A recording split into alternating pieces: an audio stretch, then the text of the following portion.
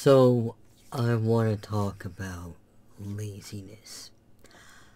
I don't believe that laziness particularly exists. I think we all have different mindsets and different motivations, and our mind creates these motivations. And whatever is going to give us the most pleasure is something that we're going to do, and something that uh, creates the least pleasure is something that we're going to avoid. And a lot of this comes down to perspective and how we problem solve certain things. So I used to think that I was lazy. A lot of people thought that I was lazy. Um, and the reason it, that people thought I was lazy, including myself, were because I wouldn't clean certain things. I had very poor personal hygiene. I didn't have mm, a teeth routine uh, consistently. Um, when I was a child, it was pretty much nothing at all. Um, yeah, but yeah, my hygiene was bad. My cleaning um, wasn't very consistent. Um, and my grades growing up weren't the best. Um, things like that. Things like that that led people to believe that I was lazy. And I did internalize that and thought that I was lazy. But as I've grown and as I have taught other people, I am realizing that laziness doesn't exist. It's literally your perspective and your motivations to do certain things. And your perspectives can absolutely be linked to trauma. For things of the simplest things, and your lack of motivation can be due to mental health. So when it came to my personal hygiene, I didn't take care of myself hygiene wise because I didn't care enough about myself to keep up with it. And because I didn't keep up with it, I didn't have an automatic routine like other people did. Um, you know, when you're a kid, you are pretty much taught this cleanliness routine and then it just becomes automatic. Uh, I did not have that automatic routine when I was a child because I was mentally ill as a child. I was depressed. I was anxious because of the environment that I was growing up in. Um, and as a result of that, I never grew into an automatic routine of hygiene, and I never saw myself as uh, worthy enough, let's say, to take care of myself, to have that kind of routine. And so my motivation for hygiene, for example, was very low to the bar. Like, if I don't care about myself, why should I keep up with my body? Why should I uh, take the time and energy that I have to clean myself if I don't feel like I'm worthy of that action? If that makes sense. So my perspective uh, for me to keep up with my hygiene is to gain self-worth and self-confidence enough to believe that I am worthy enough to keep up with a hygiene routine, to keep up with my teeth, to keep up with showers. Um, and in order for that to even be the case, I would have to go through therapy and into genuine healing, which is something that I, I have done. Um, and just because you're in therapy doesn't mean that you are uh, genuine, genuinely healing. Because in order for genuine healing to take place, you need to be honest about the situations that you are in. And something has, and that situation has to be taken seriously enough to combat it. So, yes, when I was a child, I was in therapy a couple of times. Um, I was in school counseling. But I didn't have genuine healing because I couldn't tell them about my environment. I couldn't and even when some people were aware because of physical appearances, it was, or because of some blatant uh, attitude of the parent, um, it it became uh, a, a little bit obvious of what was going on, but it was never taken seriously. Um, so I never got into genuine healing until I was in basically trauma therapy, which is different than talk therapy. Um, and that is when my perspective started to change, not just from therapy, but from my environment. My environment was also a big influence on my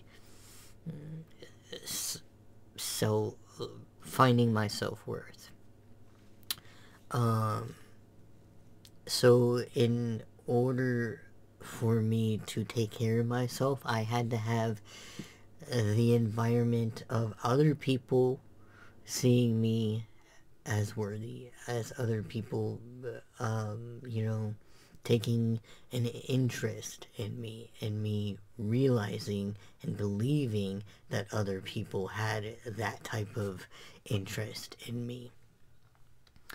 And slowly that became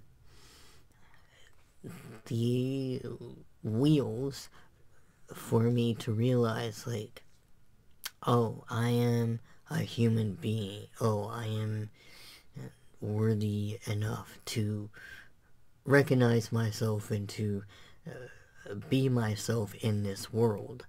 But in order to be myself in this world, I have to take care of myself.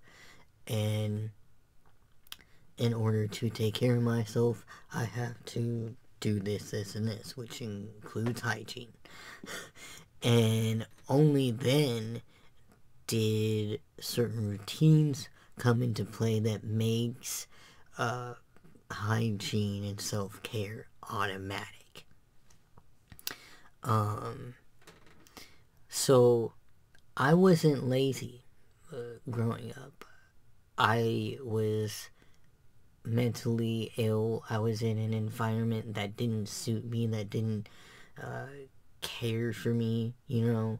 Um, and, and I needed another type of environment to show me that other people can care. I needed a space and where I could be myself. I needed a space where I could heal from the previous environment that I was in. And only then did certain things uh, come into place. And with cleaning, it, it, it, it is a very similar uh, thing but I realized that uh, cleaning, me avoiding cleaning wasn't me being lazy, it was a literal trauma response. Um, whenever I started to clean a certain thing, I had overwhelming sensory issues. I had flashbacks and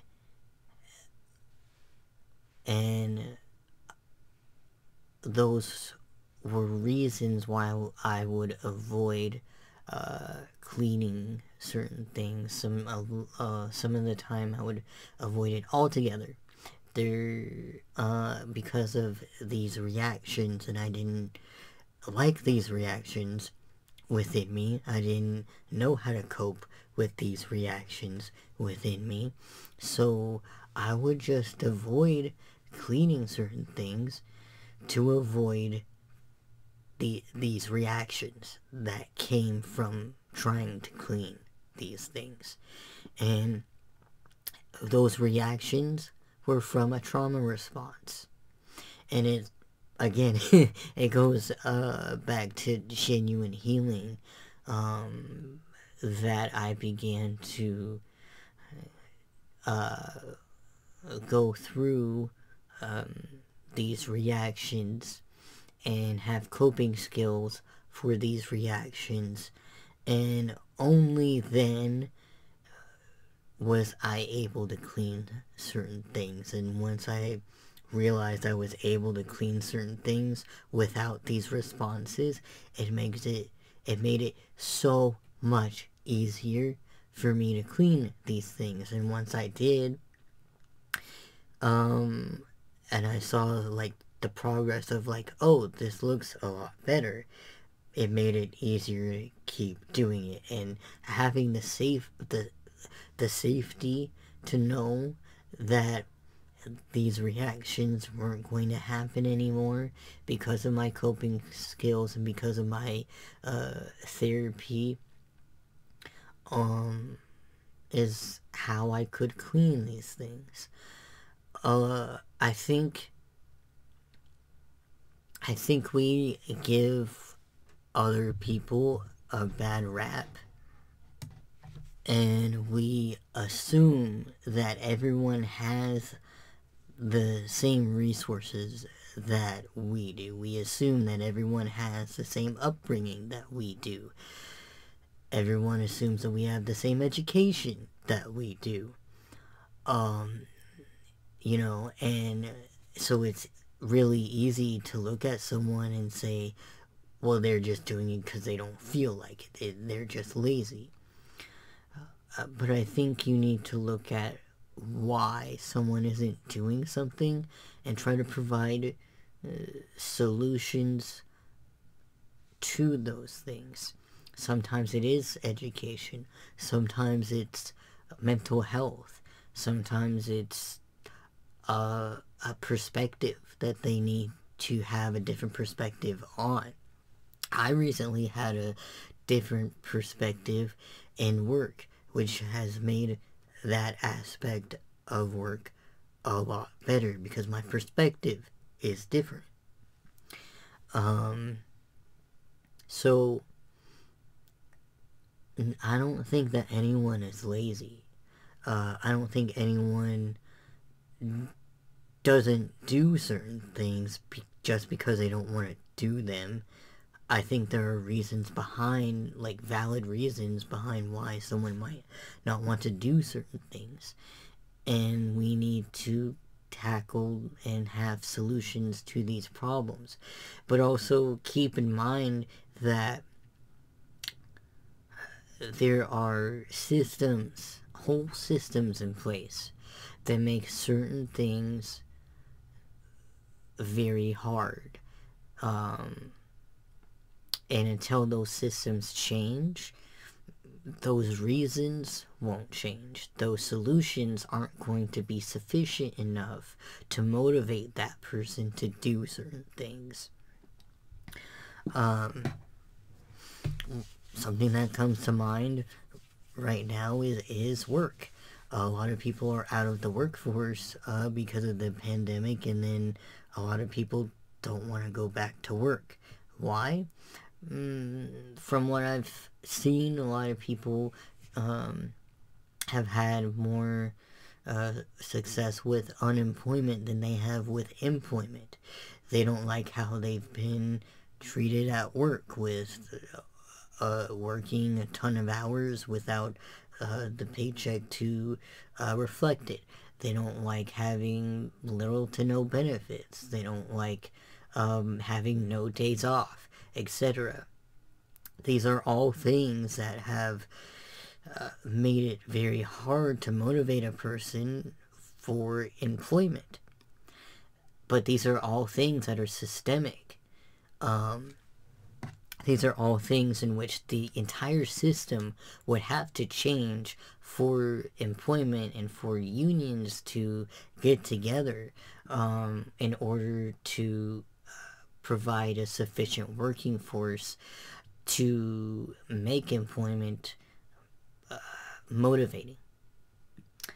Um, because it's not like people don't want to work.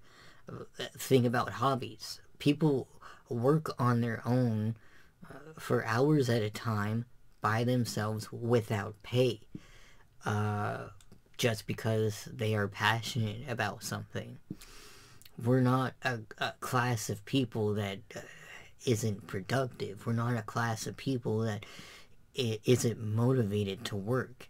The the systems in place for actual employment makes employment hard to work. Um, and we can't just pretend that these system that these systems aren't flawed. We can't pretend that uh, there's certain solutions that just aren't going to be efficient for people. Um, in order for change to happen in any in any area of life for a person in order for changes to come within the person the solutions have to fit and be sufficient enough for that person to be motivated to do that thing.